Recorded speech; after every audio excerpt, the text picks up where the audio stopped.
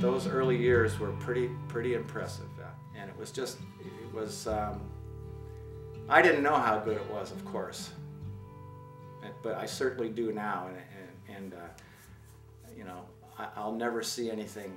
I've had some great years in the upper Skeena River system in the 80s, but even that paled in comparison to to some of those experiences. You know, it, it's kind of uh, frustrating to try to explain what we had because it's, uh, it borders on the unbelievable. Well, it depends on where it is, but uh, steelhead are under pressure just about everywhere. In so many of the western rivers, the steelhead are gone. The biggest threat, I believe, to steelhead uh, today um, is water. The question is who in the end is going to get the water and will there be any left for the steelhead? Uh, the man-caused mortality associated with the impounded eight dam complex of federal hydro dams on the Snake and Columbia River, that is the proverbial straw that breaks the camel's back and that our wild stocks cannot build and will continue to kind of circle the vortex of extinction. Yes, I am concerned with the, the future of steelhead. We've certainly lost um, the early component of our fishery here. We used to get fish on this system up on the Bulkley Morice um, in July. And then we used to get fish in August. And now uh, we hope for fish in September.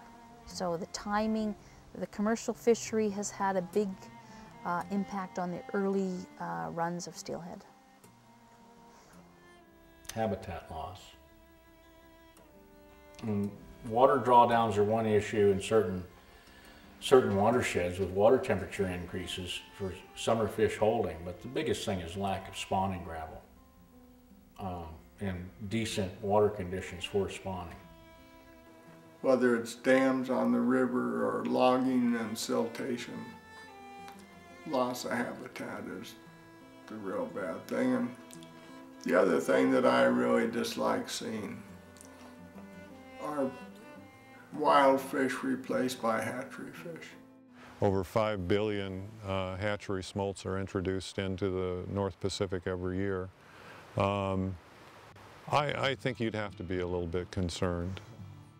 No hatchery has ever equaled, not in salmon or steelhead, has ever equaled the number of fish that was in the stream before the dam or the hatchery was put in. You know, steelhead are like a lot of other creatures on the planet. They're under attack. There's not a lot of them. That's what like makes them valuable in the first place. The Skeena is the last stronghold, one of the last strongholds, not the last strongholds, but one of the last mighty undammed rivers with lots of big steelhead in it. Do we want to see it go the way of the dodo? If we don't make some critical decisions right now, this wonderful sport and this wonderful animal are going to be lost. I have no doubt about it. Make up your mind. You know, is this worth saving? Don't screw with it. Don't put in a dam. Careful with your extractions don't have mineral exploration in the headwaters.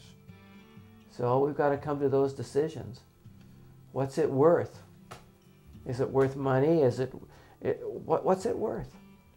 So as a young person now, you don't have a choice. You, you, you don't get to behave casually and carelessly like we did um, and just fish and, and, and then that's it.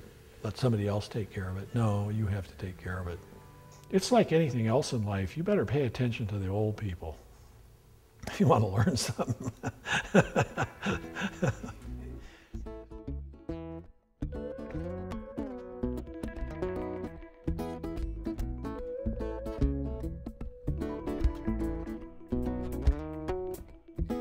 set out to drive